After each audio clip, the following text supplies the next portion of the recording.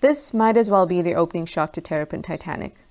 Luckily, unlike Jack, this terrapin can hold its breath for about 20 to 30 minutes, though just several minutes is more common.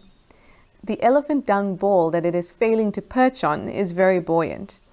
Elephant dung is light, and the fibers of the partially digested material forms lots of air pockets that keep it afloat. Think of trying to get onto an inflatable ball in a swimming pool. Not easy.